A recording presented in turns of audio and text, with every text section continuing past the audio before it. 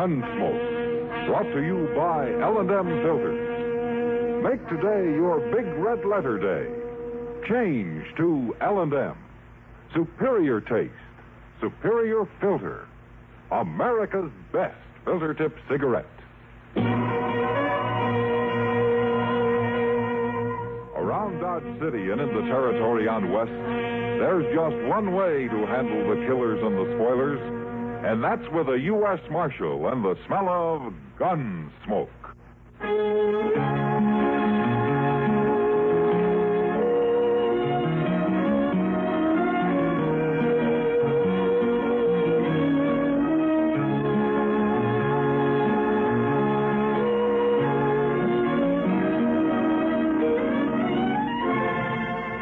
Gunsmoke, starring William Conrad. Transcribed story of the violence that moved west with young America. And the story of a man who moved with it. I'm that man, Matt Dillon, United States Marshal.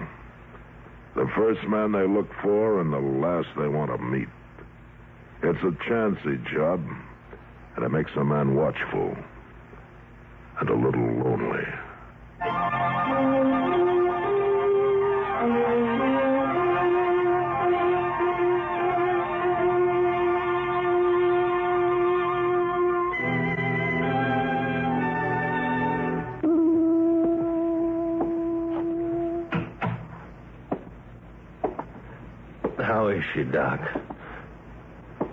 Well, she's be all right, ain't she? Your wife is a sick woman, Aaron.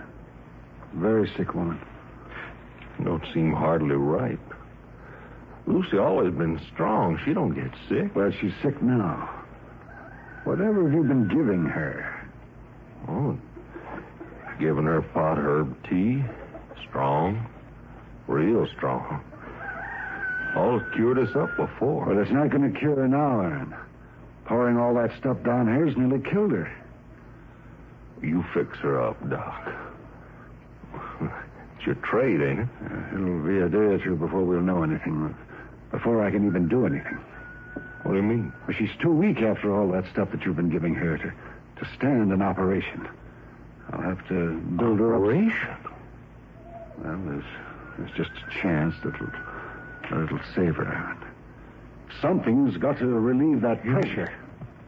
You want to take a knife to Lucy? It's the only thing I know to do. It, it may not work. I can't promise you that it will, but she'll die, sure. Oh, no, no, no. You ain't going to take no knife to Lucy, Doc. No, she ain't that sick. I tell you, if you go on feeding her those herbs, she'll die. Well, you cut into her, she'll die sure. No, no, Doc, get away from that door. Doc, I'm going in there and I'll take care Now, of it. Are you listening to me. along. Your wife's got one chance. It isn't a very good chance, but she's got one.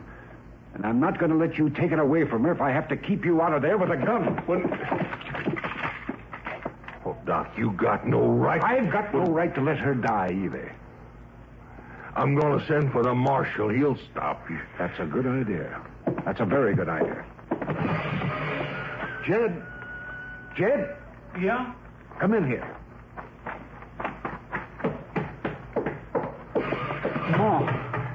Is it Ma? No, son. Your mother's all right. So far.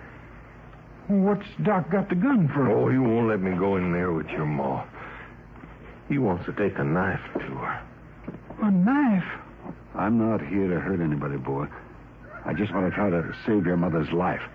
Now, I want you to go into town and bring back the marshal. The marshal? Yeah, that's what I said. Somebody's got to settle this thing. Paul? Yeah, you go on. Bring the marshal, Jed. Law'll protect a man's rights. But what'll happen to Ma? Go along, boy. Go along. Now, nothing will happen to your ma. Nothing gonna happen to her. Now, that's a fact. Go on, Jed. You get the marshal out here. Don't let him waste no time. If you say so, Pa. I say so. Go on now. I'll take care of your ma. I aim to take care of her. Gun or no gun. You can leave your horses here. I'll take care of them. Oh, thanks, boy. All right, come on, Chester.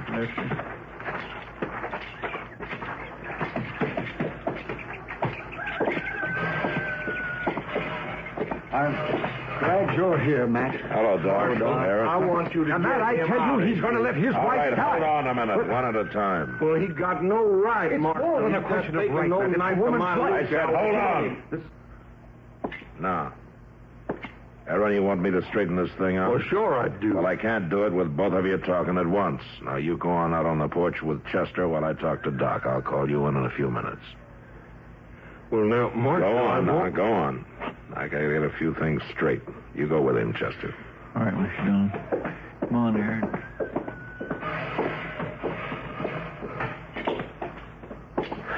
Doc, what's this all about? What are you doing holding a gun on a man in his own house? I guess it looks crazy, Matt, but it was the only thing I could think of. Well, did he threaten you? Well, he threatened the life of that woman in there. His wife's got to have care, Matt, whether Aaron agrees to it or not. What's this business about a knife? Well, uh, I've got to operate, Matt. There's something in, inside there causing a terrible pressure. And if it isn't relieved, it'll kill her. Oh. Have you done this before? Are you sure that you can save her? Uh, no, man, uh, I'm not. I haven't done it before either. Uh, but I've read about it. And I can tell you this she's got no chance at all if I don't try it. Now, that's all I'm sure of. And it's pretty chancy, isn't it? With a husband refusing his permission. Well, maybe so. I'd rather have his permission, of course. I'd like to have you with me, too, Matt. But I tell you, I'll find some way to do this, whether you stand behind me or not. I can't let that woman die because of a lot of fear and superstition. Well, Doc, I, I don't know. Um, can she talk? Is she conscious? She's just barely. Well, can I see her for a minute? Oh, I guess so. Only a minute, though. All right.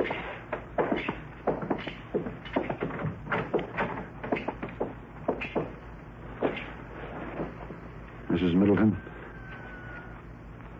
Lucy? This is Marshal Dillon. He wants to see you for a minute.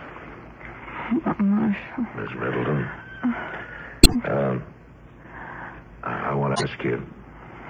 You know what's going on here? You, you know what Doc wants to do. You know your husband's against it. I know. I know. Well, can you tell me? Do you want Doc to go ahead? Yes, Marshal. Are you sure about that? Yes. Anything's better than this. I can't stand Oh, it. it's, it's all right, Lucy. Don't you worry. Come on, Matt. That's enough. Yeah.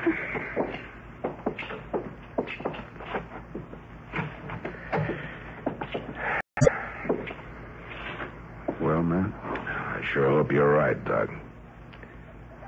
How can I help?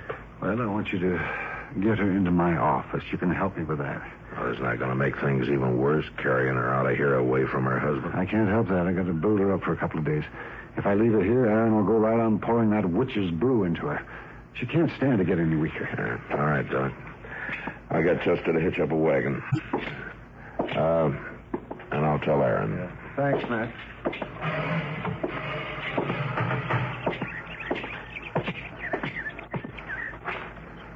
Well, Marshal, you going to clear him out of here? I'm not.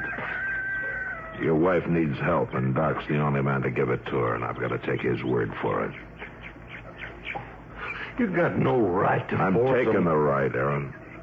Now, Doc says he's got to take care of her in his office for a couple of days. Oh, you can't take her away. Yes, he can, Aaron, and I'll tell you how it's going to be. You can stay right here calling us all names, or you can come along and help us move her. Now, that's up to you. Lucy need any carrying, I'll do the carrying. All right, then. Come on, Chester, let's get a wagon.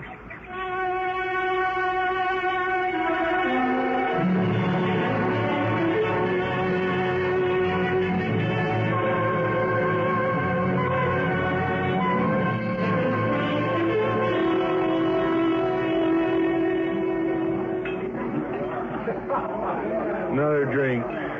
Sam, pour me another one. You sure, Aaron? I'm sure.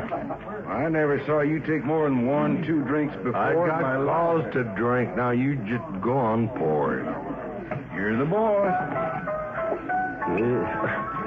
You got cause to drink. I'm the man to drink with you. That's good, mister. Man ought to have somebody to drink with. Oh, yeah. Then if it's all right if Sam pours me one too. Pour him one, Sam. All right. Hey, you sound like you got big trouble, mister. I'm always ready to listen to a man's troubles when he's, he's buying my drinks. Won't even let me see her. My wife, Lucy. Oh, keeping a man from his wife. That, that, that ain't right. No, it ain't, mister. It sure ain't. It's what I say. Ain't right. Where they got her? Got her up to Doc's for two days. Can't even see her. Oh, that's a terrible thing. That's a terrible thing. Oh, say, my my glass is empty. Sam, fill him up, Sam. All right, Aaron.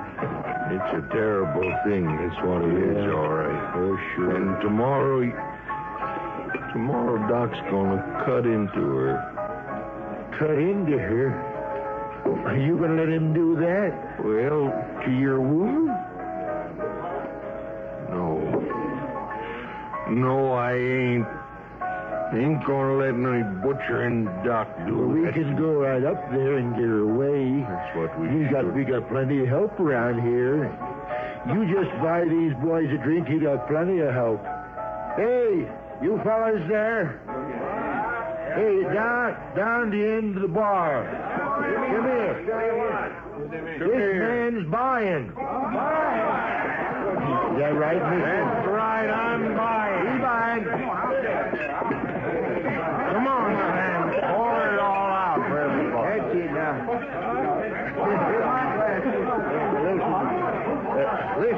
Doc, Doc has got this man's wife locked up in his office. Are we going to stand for that?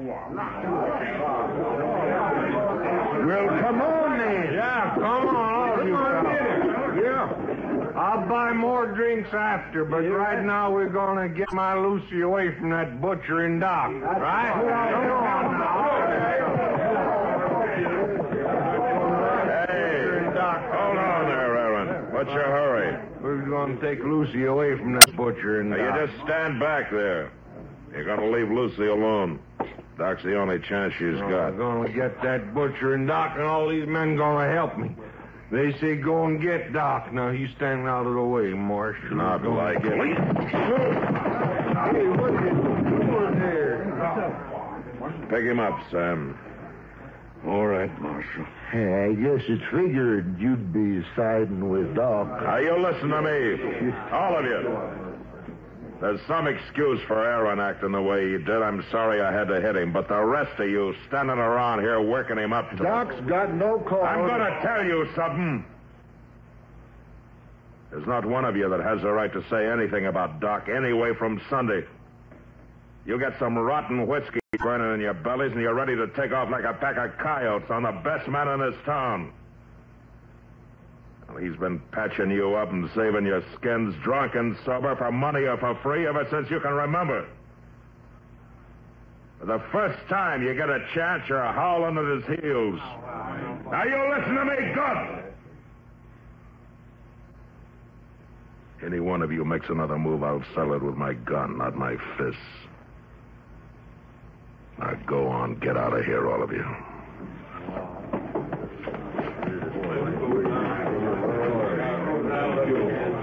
That was quite a speech, Matt.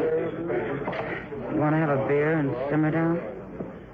No, thanks, Kitty. I, I better get up to Doc's, just in case. Matt, are you sure Doc's right about all this? You sure this is the right thing to do? No, Kitty, I'm not sure. But a man's got to take his stand. And I've got to back Doc. I sure hope it proves out. I guess we'll know tomorrow. Yeah. We'll know tomorrow. Mr. Dillon, what do you suppose is going on up in Doc's office? We've been sitting on these steps here an awful long time. You can't do things like this in a hurry, Chester. Mm-hmm. Reckon not.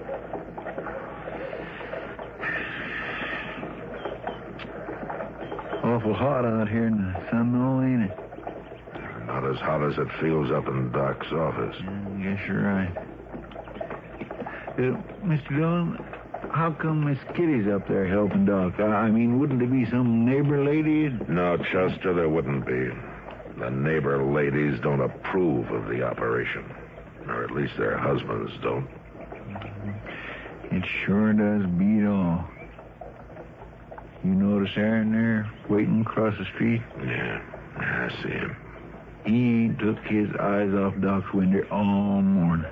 How would you, if it was your wife? No. Well, that is a... Well, of course not. I would... Oh, there's Miss Kitty. Over, Matt. Doc's finished. Lucy. What happened to Lucy? She's alive, Aaron. That's all I can tell you. You'll have to wait for Doc. He said he'd be out in a minute. Uh, Kitty, you look all done in. I sure am. But is she going to pull through, Lucy? Is she going to pull through? Honest, Aaron, I'd tell you if I knew. You just have to wait for Doc. Uh, could I get you something, Miss Kitty? Some coffee or a drink, maybe? No thanks, Chester. I, I'll just go along now. The air will fix me up. And poor Miss Kitty. Oh. Doc. Doc. Doc, how is she? Well, Aaron, it's too soon to tell for sure, but uh, I think she came through very well. She's got a lot of Well, courage. is she going to make it, Doc? Is she going to get well? I think she is, Aaron, with time. A lot of time. But yes, I think she's got a good chance. Can I see her now? Just for a minute. And don't expect too much. She's she's been through a lot. And don't talk to her. Just just stand by there for me. Yeah, all right, Doc. Oh. Say, Doc. Yes, sir? Doc, I wasn't no help to you, I guess. Doc, I was afraid. Oh, I know, Aaron. Fear does terrible things to a man. But now I, I want to thank Oh, it's all right, Aaron. Uh, you go on up there. Go on, you get up there and see her. All right, Doc.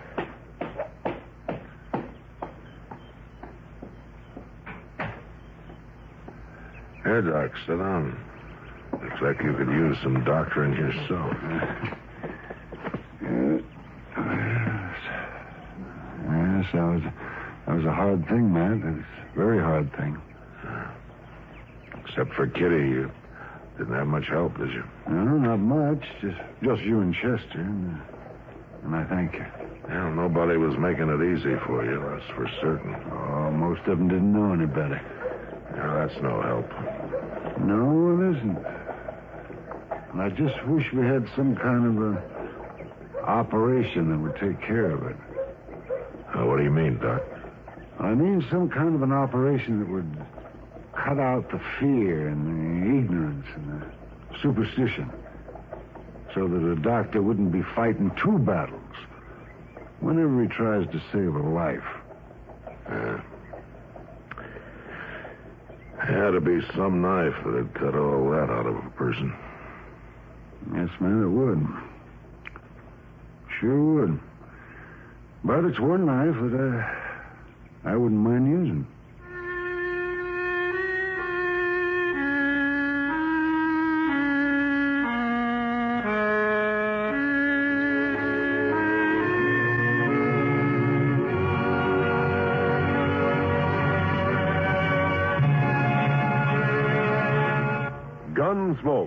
Under the direction of Norman Macdonnell, stars William Conrad as Matt Dillon, U.S. Marshal. Tonight's story was specially written for Gunsmoke by John Meston, with music composed and conducted by Rex Koury. Parley Baer is Chester, Georgia Ellis is Kitty, and Howard McNear is Doc. Gunsmoke has been selected by the Armed Forces Radio Service to be heard by our troops overseas.